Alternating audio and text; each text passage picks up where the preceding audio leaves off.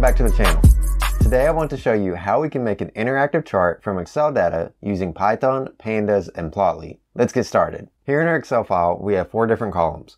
We have a date column, sales, revenue, and profit. Let's say that we want to take this date column and make it the x-axis of our chart and a profit column as the y-axis. We'll open up a text editor and the first thing we need to do is to import the packages that we'll be using. So let's import Plotly and then we'll import plotly.graph objects as geo and then we'll import pandas as pd. If you don't have Plotly installed on your system already, we can go through and install it very quickly. Just open up a command prompt or a terminal.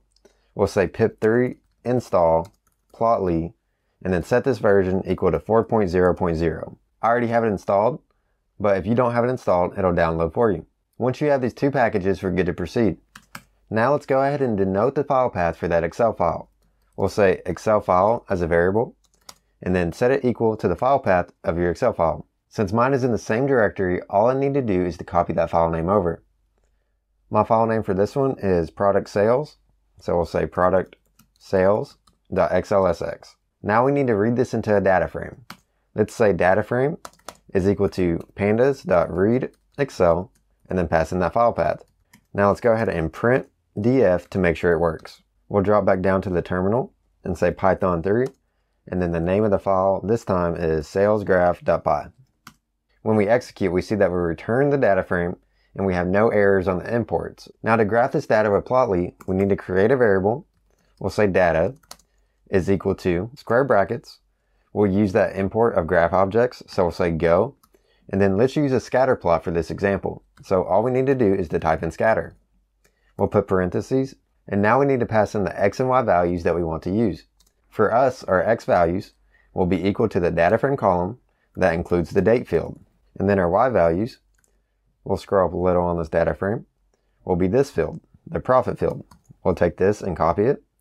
And now we'll say data frame, square brackets, and then paste it in. Now that we have this made, all we need to do is to pass this to a figure. So let's say fig is equal to go dot figure, and then we'll pass in data. Now to display it, we need to type in figure dot show. Go down and execute again. And when the result loads, we see that we have an interactive plot in an HTML page.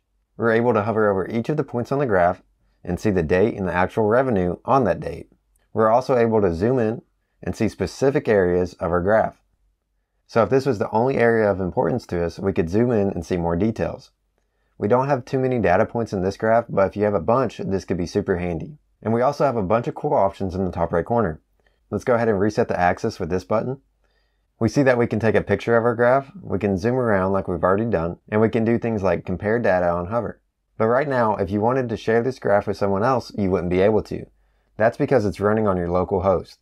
So let's go ahead and save this as an HTML file, that way we can share it with others. To save this file, we'll type in plotly.offline.plot.